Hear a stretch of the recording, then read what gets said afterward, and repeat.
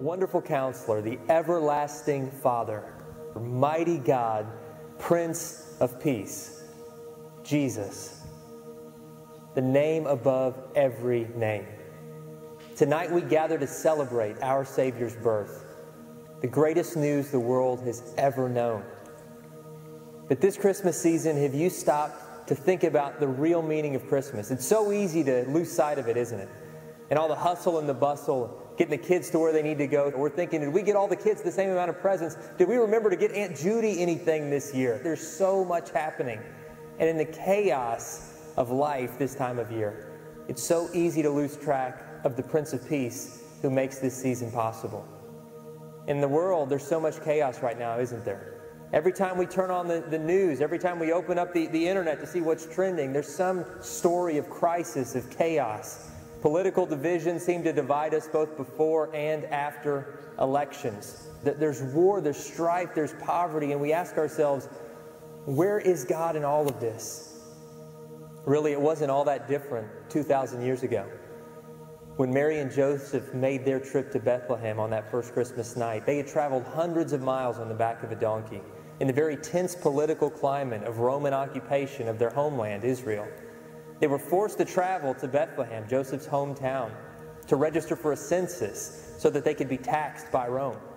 It was a cold and lonely and long and uncomfortable journey. And when they finally got there, they didn't have the money or the clout for a hotel room. There was no room in the inn, and they were ushered to a stable, a barn, and in that, that messy, smelly surroundings, God brought forth the Savior of the world. On that silent night, in the most unlikely of ways, in the most unlikely of circumstances, God brought His Savior, our Lord, the Prince of Peace.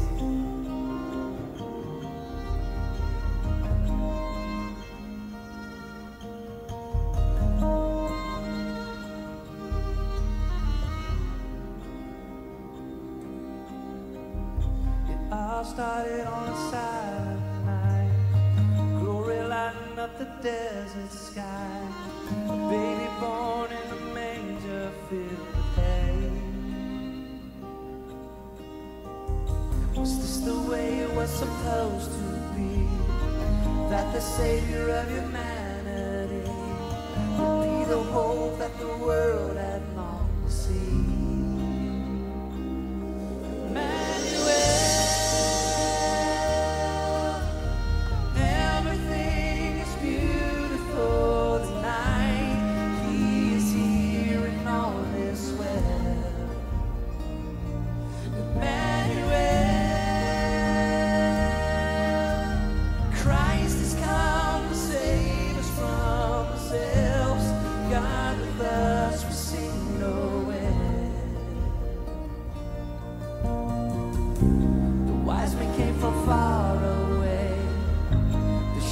Heard the angels say, Come and see the newborn Prince of Peace. This manger now a humble throne, the one who can redeem us all, the greatest love that the world has ever known.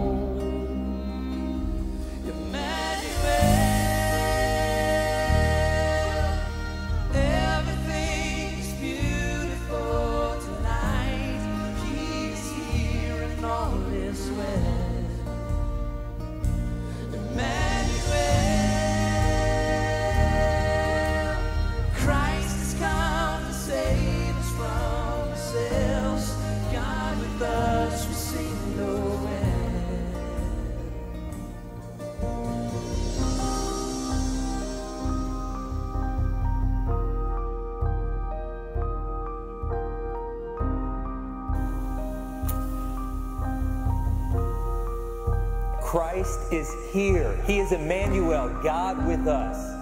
This is the meaning of Christmas. This is the purpose of life. And He will meet with you wherever you are. His presence is the greatest gift that we have ever known. And maybe this year things in your life are, are great. Things are great at work, things are great at school and with your family and with your health and your finances, and this has just been a banner year. Well, Christ is there with you in the midst of that joy. But maybe for you this Christmas, things feel broken. There's sadness, there's loneliness, there's discouragement, there's disappointment. Things feel broken at work, in your health, in your finances, in your relationships, or maybe you've even faced tragedy. Maybe there's, there's someone missing around your Christmas table this year. But even in the midst of that loneliness, even in the midst of that heartbreak, Jesus is there with you. He is God with us, and He is ready to meet us wherever we are. And so tonight we remember that it all was possible because of that precious baby born in a manger 2,000 years ago, born to be the light of the world, our Savior and our Lord Jesus Christ. And so tonight we raise a light in praise and honor of the light of the world. And we join the angels in singing, Glory to God in the highest, peace on earth, goodwill towards men.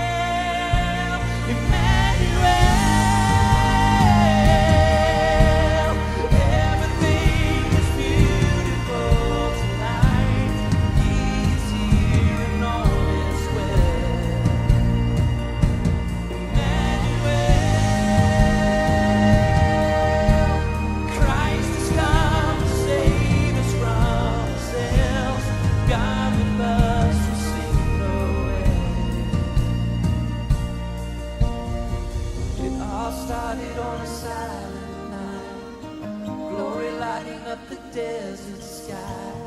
A baby born in a manger filled with hay.